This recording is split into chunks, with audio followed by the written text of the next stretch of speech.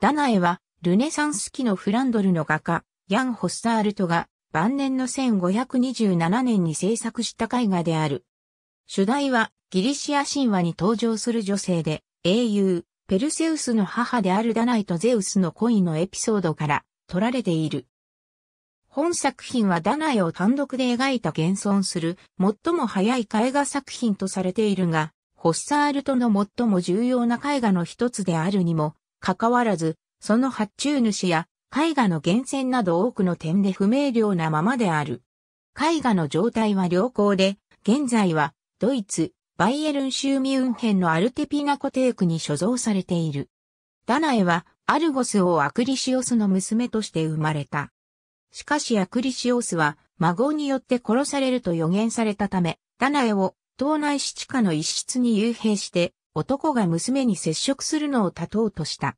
しかし彼女に恋をしたゼウスは、黄金の雨となって、ダナエに降り注いで交わった。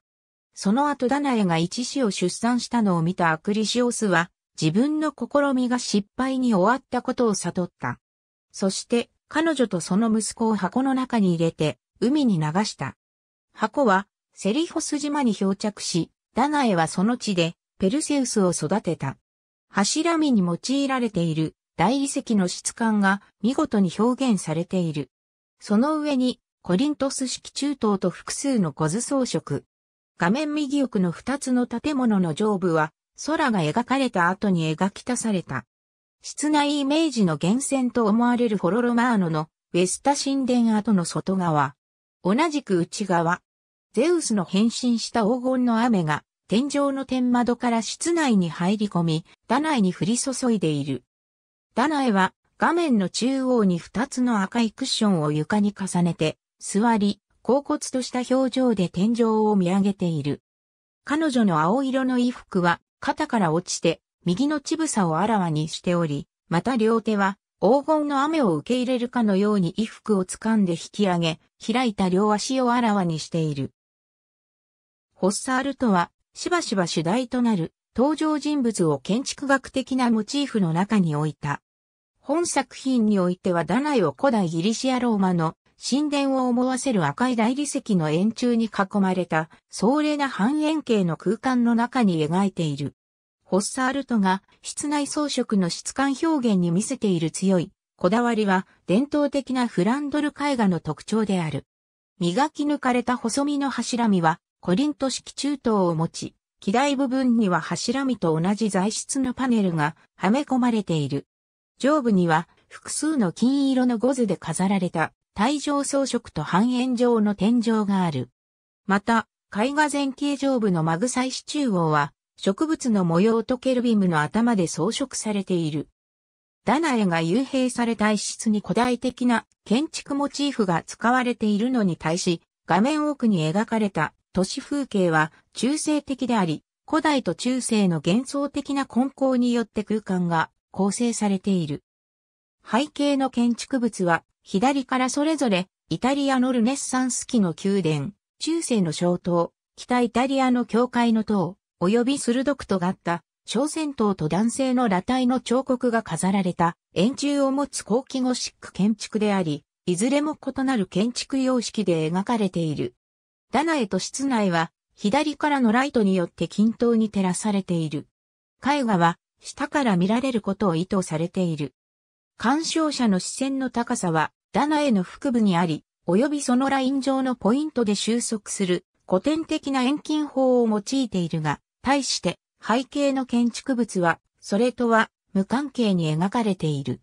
ホッサールトのサインと日付は床石側面に刻まれたラデン語碑文として記されている。ホッサールトの主要なパトロンであったブルゴーニュのフィリップは1524年に死去しており、彼が生前に発注したものなのか、それともその後ホッサールトのパトロンとなったクレーフェのフィリップ、あるいはブルゴーニュのアドルフが発注したのかどうかという疑問については不明のままである。古代のフレスコ画とモザイクにおけるダナイの表現は当時は知られていなかったため、ホッサールトはそれらを参照できなかった。イメージの源泉として考えられるのは人気のコレクションアイテムだった古代の宝石、コイン、メダリオン、カメオなどの美術工芸品で、実際にブルゴーニュのフィリップはメダリオンやコイン、カメオについてかなりの規模のコレクションを所有していた。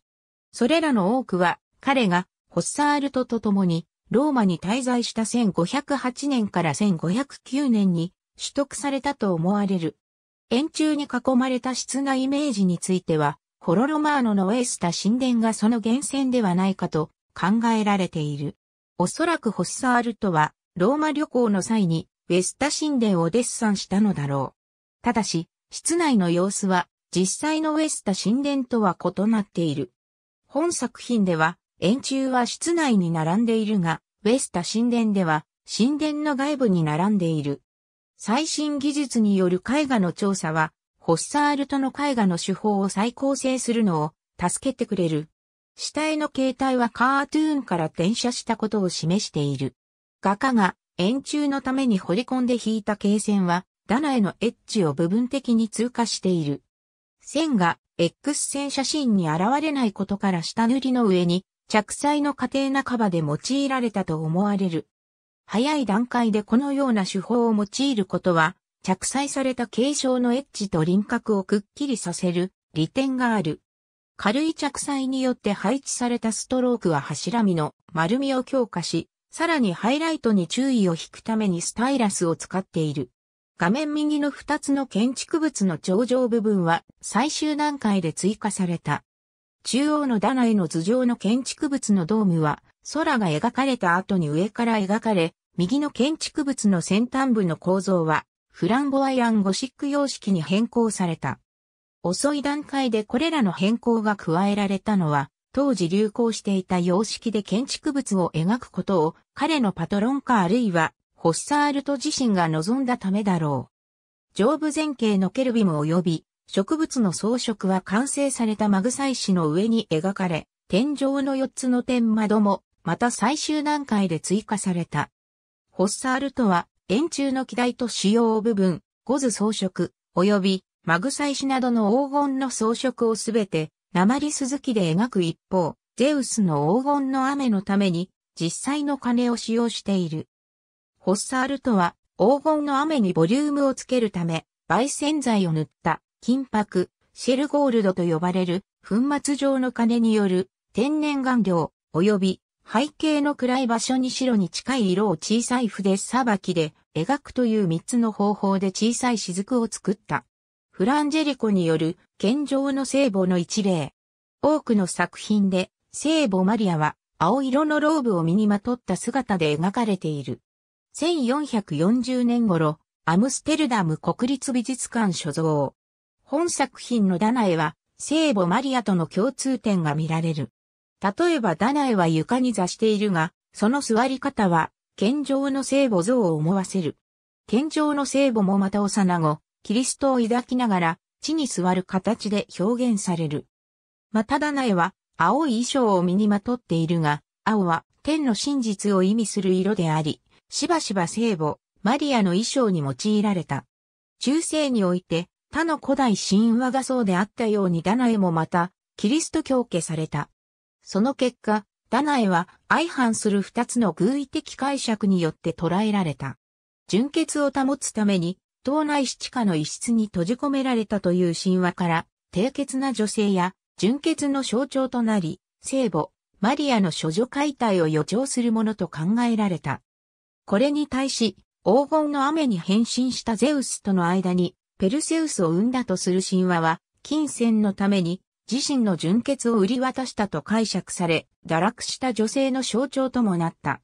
キツヤーノがダナイを描いたことで、西洋絵画におけるダナイのイメージは後者が主流となった。美術史カエル・ビンパノフスキーの研究以降、本作品は前者の純潔の偶意、聖母、マリアの予兆としてのダナイとされた。パノフスキーは14世紀イギリスのフランシスコ修道会のジョン・ライドボールによるフルゲンティウスメタフォラシスに見出されるプディチティア型に基づき、純潔の偶意として考察した。またパノフスキーは、金色の雨によるダナイの受胎が、キリストの少女、マリアの概念を予告するものとして解釈した他の14世紀の文献についても言及した。しかしこうした偶意的意味や聖母像と共通する表現にもかかわらずホッサールとのダナエは官能的である。当初はレオポルド・エットリンバー、ウィリアム・セバスチャン・ヘクシャー、サジャ、ヘルツォーク、マドリン・カーリー、ラリー・シルバー、クレイグ・ハービソンといった研究者がパノフスキーの見方を継承発展させたが、ダナイの肉体の官能的な魅力を認めたシルバーとハービソンの研究は絵画の再興を促すこととなった。コレッチョの1531年頃の作品、ダナエ。ローマ、ボルゲーゼ美術館所蔵。コレッチョは北イタリアにおける人文主義の中心の一つであったマントバのゴンザーガ家の依頼でダナエを描いた。キツィアーノがその後の海外明治を決定づけたダナエを描くのはさらにその13年後である。現在ではパノフスキーの見解は覆されたと言ってよい。ハラルド・オルブリッヒは絵画の官能性の考察をもとに、それまでの解釈に疑念を持った最初の研究者であり、その後、エリック・ジャンスライテルは、ホッサールトのダナエの外見や仕事の環境、また、ホッサールトが描いた他の神話画についての考察からこれらの解釈を論駁した。彼は、ホッサールトの絵画を中世の偶意的解釈の伝統の中に位置するのではなく、コレッチョが本作品の4年後に描いたダナエに先行する官能的表現であり、同時代に流行する絵画表現を先導したとみなし、また中性的解釈以上にダナイの官能性を大胆に強化したホッサールトの表現をパトロンであったブルゴーニュのフィリップ及びクレイフェのフィリップの洗練された人文主義的環境に由来するとした。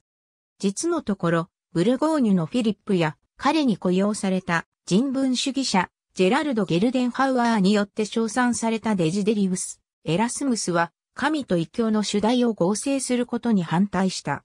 この点からダナエが中性的な偶意解釈によって描かれたことは考えにくく、むしろ神話に関する古代から中世の文献をもとに描かれたと考えられる。ありがとうございます。